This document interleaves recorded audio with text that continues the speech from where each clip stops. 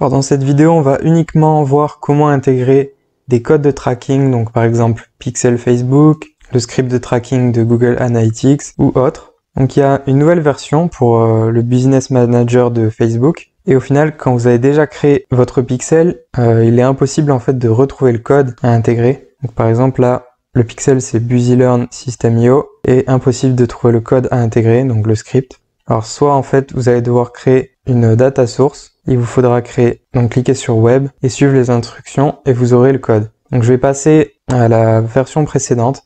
Et voilà, et comme vous pouvez le voir, la version précédente est un petit peu plus moche, mais au final on peut paramétrer le pixel. Donc c'est parti, ajouter manuellement le code et voilà, le code est ici.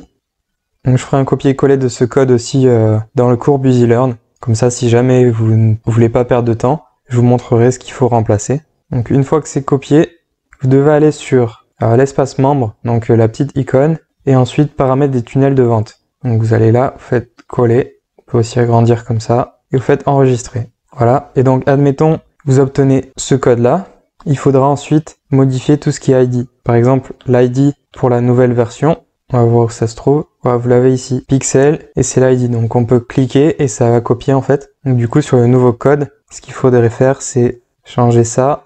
Hop, CTRL V par exemple. Ensuite ici, CTRL V. Et voilà, tout simplement. Seulement deux ID à changer et ça peut être adapté à tout. Voilà, une fois que c'est enregistré, il faut ensuite vérifier que les événements sont bien effectués. Donc si on recharge, on peut voir qu'il n'y a sûrement pas d'événements. Voilà, donc on va tester les événements. Donc pour cela, il faut déjà un tunnel de vente prêt. Donc on va prendre par exemple celui-là. Donc vous entrez l'URL de votre tunnel de vente, faites ouvrir. Et ensuite vous vous baladez un petit peu, vous cliquez sur un bouton pour aller par exemple sur la page de commande.